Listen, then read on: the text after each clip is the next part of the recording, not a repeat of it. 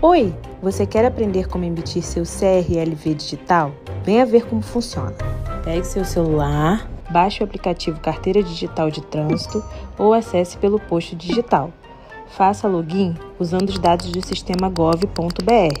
Caso ainda não tenha cadastro, você pode fazer gratuitamente.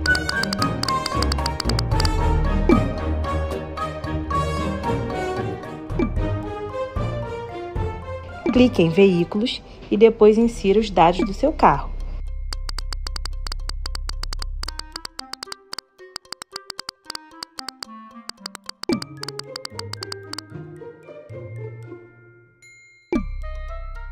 Selecione o veículo que deseja e pronto! O documento estará disponível para você.